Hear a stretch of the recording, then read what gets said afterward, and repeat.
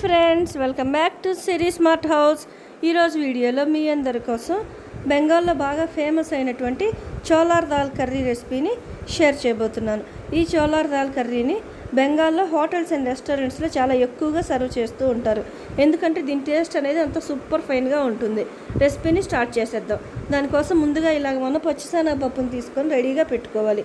మనం ఈ కర్రీని ఓన్లీ పచ్చిశనగపప్పుతో మాత్రమే తయారు చేసుకోవాలి. ఇలా పచ్చిశనగపప్పును తీసుకొని వాటిని వేరే ఒక పెద్ద బౌల్లోకి యాడ్ చేసుకోవాలి. బౌల్లోకి యాడ్ చేసుకున్న తర్వాత శనగపప్పులో మనం వాటర్ని యాడ్ చేసుకొని ఒక టూ టు త్రీ టైమ్స్ వరకు వాష్ చేసుకోవాలి. వాష్ చేసుకునేటప్పుడు మనం ఫింగర్స్ తోటి బాగా ట్విస్ట్ చేస్తూ వాష్ చేసుకుంటే మనకి శనగపప్పులో ఉండేటువంటి డస్ట్ అనేది చాలా ఫాస్ట్గా రిమూవ్ అయిపోతుంది. ఇలా వాష్ చేసుకున్న తర్వాత ఇందులో మనం మళ్ళీ ఒకసారి వాటర్ని యాడ్ చేసుకొని శనగపప్పుని ఒక హాఫ్ అన్ అవర్ వరకు కంపల్సరీగా నానబెట్టుకోవాలి. నెక్స్ట్ స్టవ్ మీద ఒక కడాయిని పెట్టుకొని అందులో ఒక two to three table spoons వరకు ఆయిల్ని యాడ్ చేసుకోవాలి. ఇలా ఆయిల్ని యాడ్ చేసుకున్న తర్వాత ఆయిల్ మొత్తాన్ని ఒక వన్ మినిట్ వరకు హీట్ చేసుకోవాలి. ఆయిల్ హీట్ అయిపోయిన తర్వాత ఇందులో ఒక బిర్యానీ ఆకుని యాడ్ చేసుకోవాలి. మనం ఈ కర్రీని మసాలా యాడ్ చేసుకొని చేసుకుంటాం. కాబట్టి కంపల్సరీగా బిర్యానీ ఆకు అండ్ మసాలా దినుసుల్ని యాడ్ చేసుకొని తర్వాత ఇలా కొద్దిగా దాల్చిన చెక్క అదేవిధంగా రెండు మూడు లవంగాలను కూడా యాడ్ చేసుకోవాలి. వీటన్నిటిని యాడ్ చేసుకున్న తర్వాత ఈ మసాలా దినుసులు అదేవిధంగా బిర్యానీ ఆకుని ఒక టూ టు త్రీ మినిట్స్ వరకు ఫ్రై చేసుకోవాలి. ఇలా మనకు వాటిని ఫ్రై చేసుకుంటున్నప్పుడే మంచి అరోమా అనేది మనకు తెలుస్తుంది. ఇలా అరోమా అనేది వచ్చినప్పుడు మనకి బిర్యానీ ఆకు అదేవిధంగా మసాలా దినుసులు ఫ్రై అయిపోయాయని అర్థం. సో ఇలాగ వాటన్నిటిని ఫ్రై చేసుకున్నంతసేపు స్టవ్ని కంపల్సరీగా సిమ్లో మాత్రమే పెట్టుకొని ఫ్రై చేసుకోండి. లేదంటే ఇవి మాడిపోయే ఛాన్స్ చాలా ఎక్కువగా ఉంటుంది. మాడిపోతే మన కర్రీ టేస్ట్ కంప్లీట్గా చేంజ్ అయిపోతుంది. జాగ్రత్తగా ఫ్రై చేసుకోండి. నెక్స్ట్ ఇందులోకి మనం ఒక మీడియం సైజ్ ఆనియన్ని తీసుకొని స్లైసెస్గా కట్ చేసుకొని యాడ్ చేసుకోవాలి. నేను ఇక్కడ కర్రీని వచ్చేసేసి ఫోర్ మెంబర్స్కి సరిపోయే విధంగా తయారు చేస్తున్నాను. మీరు మీ క్వాంటిటీకి తగ్గట్లుగా చూసి ఆనియన్స్ని యాడ్ చేసుకోండి. ఇలా ఆనియన్స్ని యాడ్ చేసేసుకున్న తర్వాత ఇందులో మన కర్రీ టేస్ట్కి సరిపోయే విధంగా సాల్ట్ని యాడ్ చేసుకుందాం. ఇలా సాల్ట్ యాడ్ చేసుకున్న తర్వాత ఒక హాఫ్ టేబుల్ స్పూన్ వరకు పసుపుని యాడ్ చేసుకుందాం. పసుపును కూడా యాడ్ చేసేసుకున్న తర్వాత ఇందులో మనం టేస్ట్కు తగ్గట్లుగా కారాన్ని కూడా యాడ్ చేసుకుందాం. కారాన్ని కూడా యాడ్ చేసేసుకున్న తర్వాత ఈ ఆనియన్స్ మసాలా దినుసులు అదేవిధంగా స్పైసెస్ వీటన్నిటిని ఒకసారి ఫ్రై అయ్యే విధంగా ఒక వన్ ఆర్ టూ మినిట్స్ వరకు ఫ్రై చేసుకుందాం.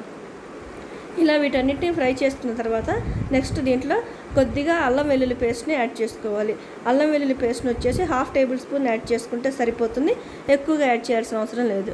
అల్లం వెల్లుల్లి పేస్ట్ని యాడ్ చేసుకున్న తర్వాత అల్లం వెల్లుల్లి పేస్ట్లో ఉండేటువంటి పచ్చివాసన అనేది కంప్లీట్గా రిమూవ్ అయిపోయే వరకు ఫ్రై చేసుకోండి. అల్లం వెల్లుల్లి పేస్ట్ని ఫ్రై చేసేసుకున్న తర్వాత నెక్స్ట్ మనం ఇందులో ఒక హాఫ్ టేబుల్ స్పూన్ వరకు ధనియాల పొడిని యాడ్ చేసుకోవాలి. ధనియాల పొడి హాఫ్ టేబుల్ స్పూన్ యాడ్ చేసుకుంటే సరిపోతుందండి. ఎక్కువగా యాడ్ చేసుకుంటే మనకి టేస్ట్ అనేది చేంజ్ అయిపోతుంది. ఇలా ధనియాల పొడిని యాడ్ చేసుకున్న తర్వాత ఒక హాఫ్ టేబుల్ స్పూన్ వరకు జీలకర్ర పొడిని కూడా యాడ్ చేసుకోండి. ఈ రెండింటిని యాడ్ చేసుకొని ఫ్రై చేసుకున్న తర్వాత ఒక వన్ ఆర్ టూ మినిట్స్ వరకు బాగా కుక్ చేసుకోండి. ఇలా వీటన్నిటిని ఫ్రై చేసుకున్న తర్వాత మనం ముందుగానే చాప్ చేసుకొని రెడీగా పెట్టుకున్నటువంటి టొమాటోస్ని యాడ్ చేసుకోవాలి. నేను ఇక్కడ ఒక రెండు పెద్ద సైజ్ టొమాటోస్ని తీసుకొని యాడ్ చేసుకున్నాను. టొమాటోస్ని యాడ్ చేసేసుకున్న తర్వాత తిరిగి మళ్ళీ ఒక ఫైవ్ మినిట్స్ వరకు వీటిని ఫ్రై చేసుకోండి. టొమాటోస్ మనం కొద్దిగా కుక్ చేసుకోవాలి. ఇలా టొమాటోస్ని యాడ్ చేసిన తర్వాత ఇందులో మనం టొమాటోస్ కుక్ చేసుకోవడం కోసం సరిపోయినటువంటి వాటర్ని యాడ్ చేసుకోండి. వాటర్ మరీ ఎక్కువగా యాడ్ చేయొద్దండి. ఎందుకంటే మనం నెక్స్ట్ శనగపప్పుని యాడ్ చేసుకున్నప్పుడు కూడా మళ్ళీ వాటర్ని యాడ్ చేసుకుంటాం. సో ఇలాగ టమాటోస్ని యాడ్ చేసుకున్నాము వాటర్ని యాడ్ చేసుకున్న తర్వాత దాని మీద ఒక లిడ్ని పెట్టేసేసి మనం ఒక ఫైవ్ మినిట్స్ వరకు కుక్ చేసుకోవాలి. ఈ ప్రాసెస్ అంతటిని మనం స్టవ్ని లోటు మీడియంలో పెట్టుకొని చేసుకోవాలి. లేకపోతే మనకి ఈ స్పైసెస్ అనేవి మాడిపోయే ఛాన్స్ ఉంటుంది. సో ఇలాగా టొమాటోస్ని ఒక ఫైవ్ మినిట్స్ వరకు కుక్ చేసుకున్న తర్వాత లిడ్ ఓపెన్ చేసి మళ్ళీ ఒకసారి వీటన్నిటిని బాగా మిక్స్ చేసేసుకోవాలి. మిక్స్ చేసేసుకున్న తర్వాత ఇందాక మనం వాష్ చేసుకొని నానబెట్టుకొని రెడీగా పెట్టుకున్నటువంటి శనగపప్పుని ఈ టొమాటోస్ అండ్ మసాలా మిక్స్లో యాడ్ చేసుకోవాలి. ఇలాగా స్లోగా మనం ఈ శనగపప్పు మొత్తాన్ని యాడ్ చేసేసుకోవాలి. యాడ్ చేసుకున్న తర్వాత ఈ శనగపప్పు మనకి కంప్లీట్గా టొమాటోస్ అండ్లలో బాగా మిక్స్ అయిపోవాలి. ఇలాగా వీటన్నిటిని బాగా మిక్స్ చేసేసుకొని వాటి మీద తిరిగి మళ్ళీ ఒకసారి లిడ్ పెట్టేసేసి ఒక ఫైవ్ టు టెన్ మినిట్స్ వరకు కుక్ చేసుకోవాలి. కుక్ చేసుకునేటప్పుడు మధ్య మధ్యలో చెక్ చేసుకుంటూ కుక్ చేసుకోండి. లేదంటే వాటర్ అనేది చాలకపోతే మనకి మసాలా అనేది కంపల్సరీగా మాడిపోయే ఛాన్స్ ఉంది. ఇలాగా ఒక ఫైవ్ మినిట్స్ కుక్ చేసుకున్న తర్వాత లిడ్ ఓపెన్ చేసి మనం ఈ స్టేజ్లో కారానికి తగ్గట్లుగా మీరు ఇందాక యాడ్ చేసుకున్నటువంటి కారం అనేది చాలదు అనిపిస్తే కొద్దిగా ఘాటు పెట్టుకున్నటువంటి పచ్చిమిరపకాయలను యాడ్ చేసుకొని మళ్ళీ ఒకసారి వాటర్ని యాడ్ చేసుకోండి. ఈ కర్రీని మనం ఓన్లీ బాండీలో మాత్రమే కుక్ చేసుకోవాలి. మనం కుక్కర్లో పెట్టినా కానీ ఆ, ఇంకా ఏ ప్రాసెస్లో ఉడికించినా కర్రీ టేస్ట్ అనేది కంప్లీట్గా చేంజ్ అయిపోతుంది.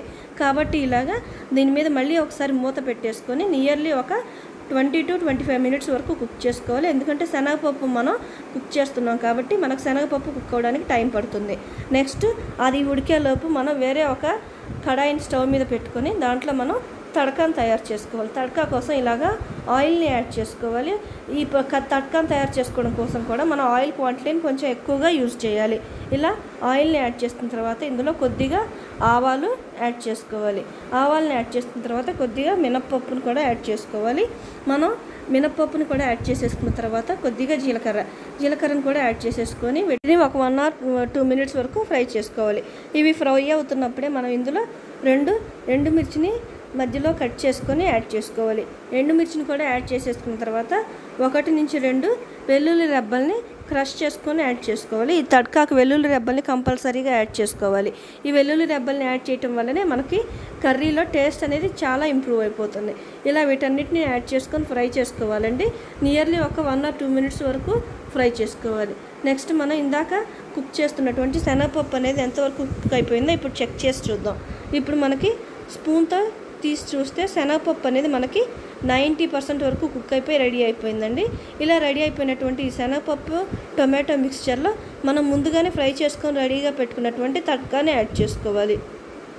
ఇలా తట్కాని యాడ్ చేసేసుకున్న తర్వాత స్టవ్ ఆఫ్ చేసేసుకొని మనం ఇందులో కొద్దిగా కొత్తిమీరను కూడా యాడ్ చేసుకోవాలి.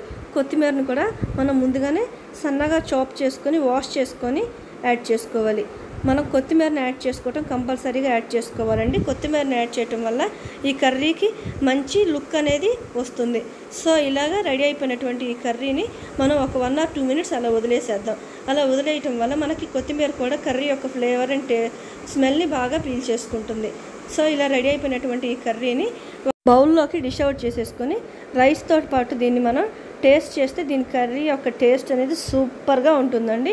దీని యొక్క స్మెల్కే అట్రాక్ట్ అయిపోయి హోటల్స్లో దీన్ని ఎక్కువగా తింటూ ఉంటారు. సో ఇట్లా రెడీ అయిపోయినటువంటి ఈ కర్రీని బ్యాచిలర్స్ కూడా చాలా ఈజీగా ఫాస్ట్గా తయారు చేసేసుకోవచ్చండి.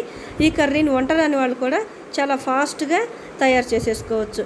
మీకు కూడా ఈ కర్రీ నచ్చితే ట్రై చేయండి. సో ఇది ఫ్రెండ్స్ ఇవాళ బ్లాగ్ మీ అందరికీ నచ్చినట్లయితే ప్లీజ్ లైక్ చేయండి షేర్ చేయండి కామెంట్ చేయండి అలాగే సబ్స్క్రైబ్ చేయండి. Thank you for